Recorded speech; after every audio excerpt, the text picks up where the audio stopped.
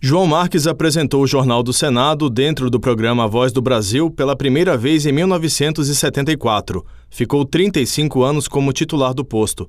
O trecho que você ouve a seguir é do programa do dia 16 de julho de 2002.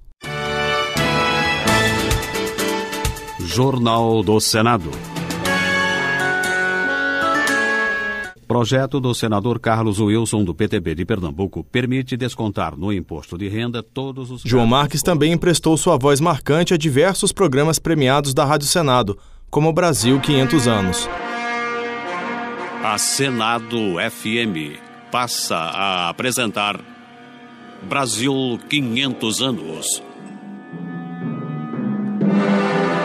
Primeiro diretor da Rádio Senado, Silvio Hawagen, lembra que João Marques foi o responsável pela primeira transmissão da emissora em 29 de janeiro de 1997. O João Marques foi a primeira voz a surgir na programação da Rádio Senado, foi o João.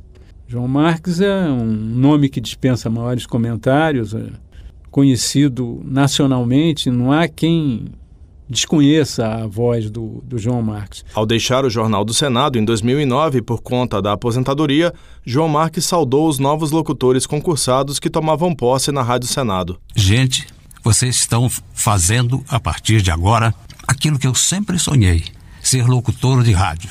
Eu agradeço muito a Deus por essa oportunidade. Sejam felizes nessa empreitada. Parabéns! João Marques morreu aos 84 anos. Ele estava internado por causa de uma pneumonia e teve um infarto nesta sexta-feira. Da Rádio Senado, Maurício Desante.